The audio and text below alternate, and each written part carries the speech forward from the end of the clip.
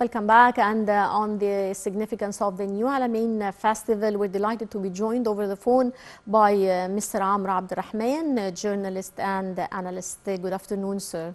Well, good afternoon to you. Hello to the dear viewers.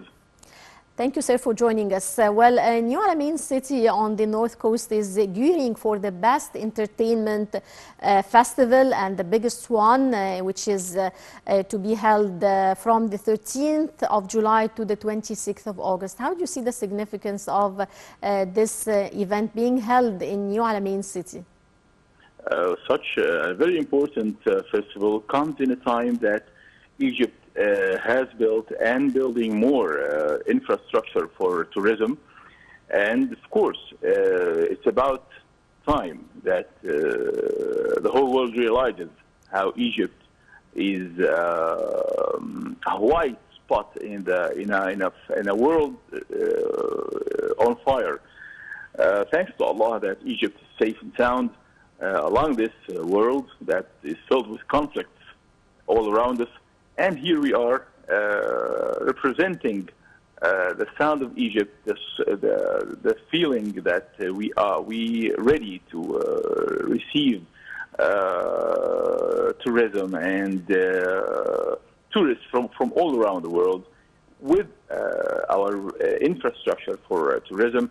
And of course, we need to, uh, for the whole world to realize that Egypt is now uh, ready for uh, opening arms to all tourists from all, all over the world.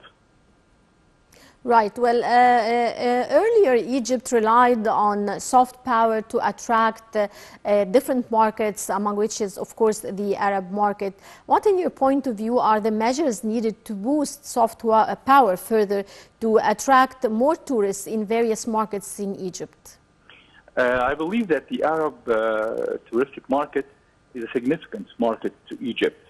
Uh, our brothers in Arabic countries realize how friendly and how brotherly uh, atmosphere they can uh, find here in Egypt, uh, as well as the, the, the the new aspect of uh, the new, the the, um, the relations uh, between the new era of relations between Egypt and uh, Arabic countries. Of course, after the afterwards the revolution of June 30, I believe that the Arabs, the Arab, the Arabic sector of tourism means a lot to our project in Egypt, and we have uh, that uh, various uh, cooperative um, projects in too many fields between Egypt and the Arabic um, brothers and associates, and of course, a great part of those uh, projects are uh, concerning uh, tourism. Of course, Egypt is welcoming our brothers in Gulf countries, in uh, from uh, from North Africa, uh, to be welcomed here, Egypt, uh, the greater brother for the, the Arabic world. Right. Uh, now, uh, how far do you think the new Alamein city would change the tourism map in Egypt? Uh, it's, a, it's, a, it's a very significant step on the road. Such uh, conferences, such uh, festivals, such events uh, means uh, and represents and expresses how uh, Egypt uh, is a very strategic point, strategic country all over the world, in the heart of the whole world, whether the Arabic or the whole world. We need for the, the Western and the Eastern countries to realize is, uh, that in a world filled with conflicts, there is a spot, there is a place they can find uh, serenity and uh, enjoy uh, their lives, uh, a way of thinking about wars and conflicts and uh, greeds.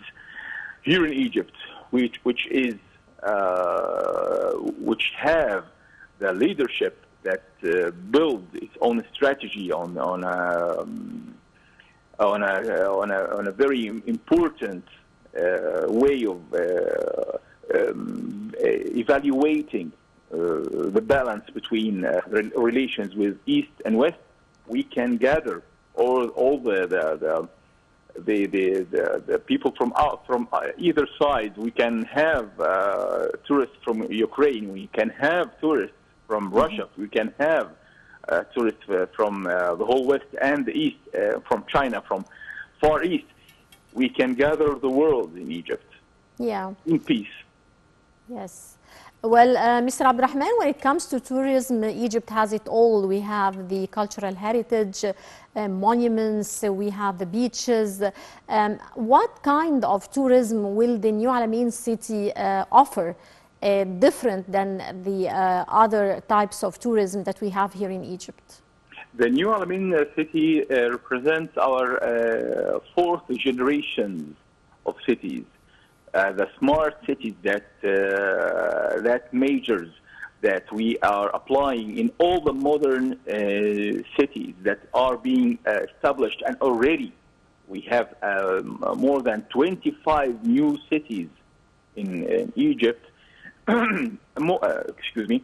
More, uh, most of those uh, cities have its potentials, uh, touristic pot- pot- potentials, and they can be used uh, for such for such goals to achieve more horizons and expand our horizons in in the field of tourism, and of course it, they can serve the purpose of tourist, tourists from all over the world. For we need to change uh, the traditional way of thinking uh, of the, the, the, the tourists from abroad that only Egypt means uh, the pyramids and the Luxor uh, and um, the oasis, uh, the Western oasis. We, Yeah. ne- we need for them to realize that we are building me- new measures, new way of uh, touristic gathers between uh, the, the, the Egyptian touch, the historical Egyptian touch, and the, the global uh, way of thinking, the global measures of new Yeah. cities and new uh, ways of tourism. Right. Well, I would like to thank you so much, Mr. Amr Abdel Rahman, our political analyst. Many thanks for your insight. And dear viewers, now we go to a short break and we'll be right back.